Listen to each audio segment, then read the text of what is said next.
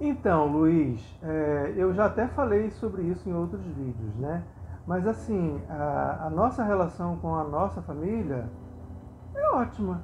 Eu me dou muito bem com a minha família e com a família do Gil. O Gil se dá muito bem com a família dele e com a minha também.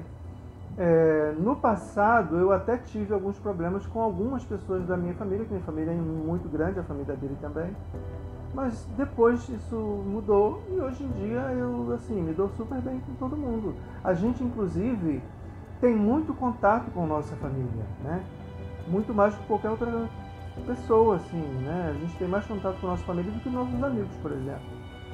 Então, assim, nós estamos sempre juntos. A família dele me trata super bem, minha família trata ele muito bem também. O Luiz com certeza está querendo saber a aceitação da nossa família, da nossa relação super de boa, porque todo mundo sabe que nós somos casados, né? nos tratam como sendo casados, não fazem a menor distinção né?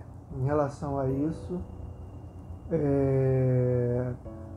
Por exemplo, a gente quando a gente vai visitar um parente nosso, a gente dorme junto, né?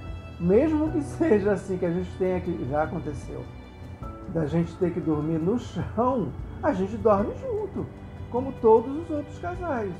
Não há a menor distinção nisso. Então, assim, se eu vou visitar um, um familiar meu, o quarto que é separado é um quarto de casal, sempre foi assim.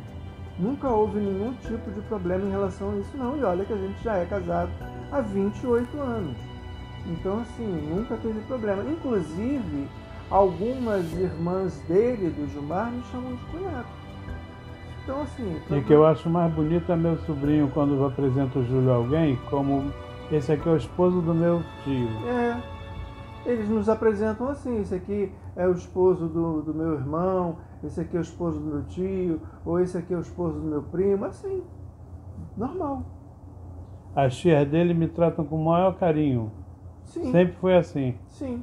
E olha que na nossa família tem bolsonarista, né? Muito. Na nossa família tem bolsonarista. E assim. Ferrenho. É, e mesmo os bolsonaristas, por exemplo, eu tenho um tio meu, né, que ele é bolsonarista.